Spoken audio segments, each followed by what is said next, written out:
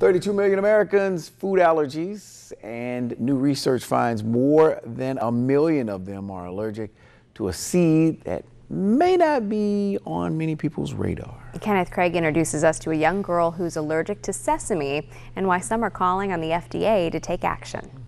Charlie Berry is a happy, healthy five year old who loves to eat.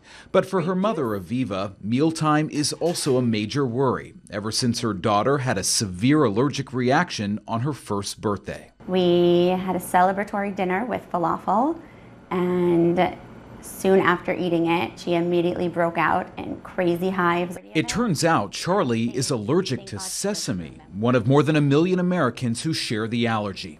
And that's more common than previously thought, according to a new study published in JAMA Network Open.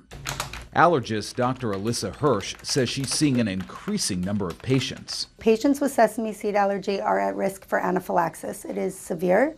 We recommend all patients with a true clinical history of a food allergic reaction to sesame seeds should carry epinephrine at all times. Often a hidden ingredient, sesame seeds, oils, and pastes can be found in everything from bagels to hummus and condiments.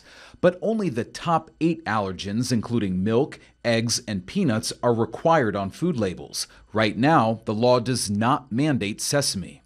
You feel like that's that's long overdue at this point? I think from what we see from the more recent studies that it is long overdue. It would just help so much to control the situation if you had better labeling. That's scary to think that whoever is watching her can give her a product that has sesame because they will look at that warning line thinking they're covered and they're not. You want to help me pick a plate? Aviva hopes one day her daughter will outgrow the allergy, but until then, she stays vigilant.